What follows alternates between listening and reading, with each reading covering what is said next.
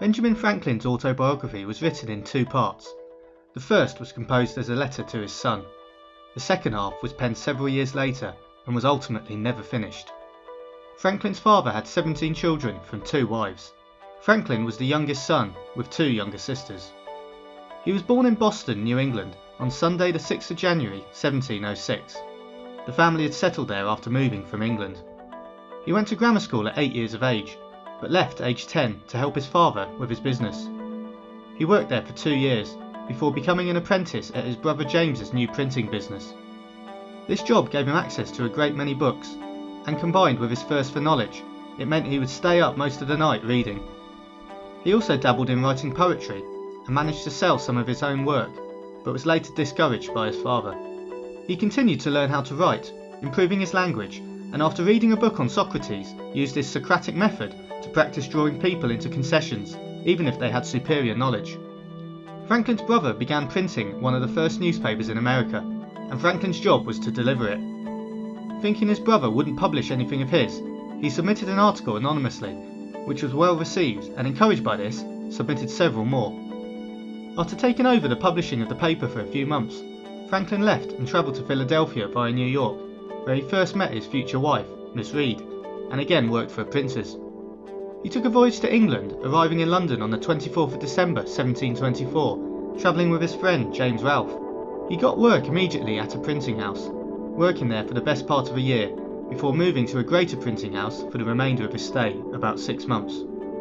He drank only water instead of the strong beer that the other workmen drank, arguing against its supposed strength for its ingredients and saving himself four or five shillings a week. A large number of his colleagues followed his example.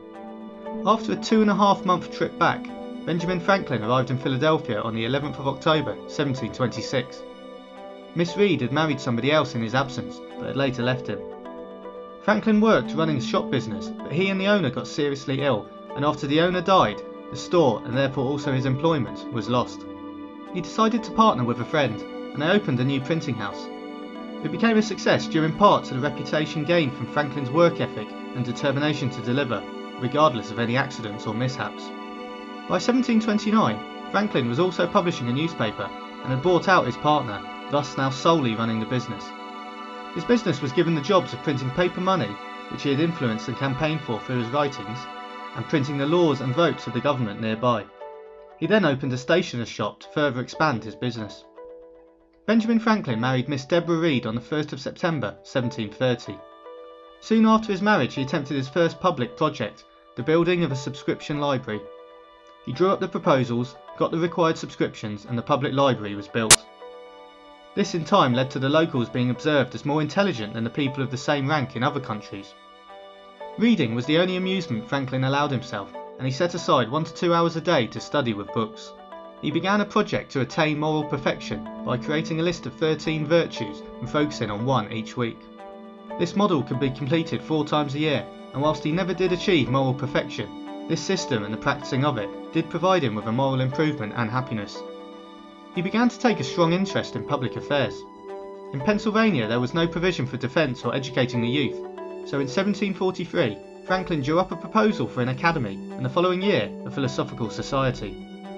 He also wrote a pamphlet outlining the lack of defence and promoting a voluntary association of the people.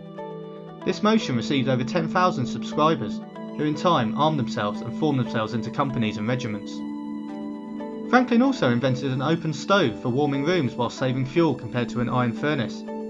It was so popular he was offered a patent to sell them but he refused, stating, We should be glad of an opportunity to serve others by any invention of ours, and this we should do freely and generously.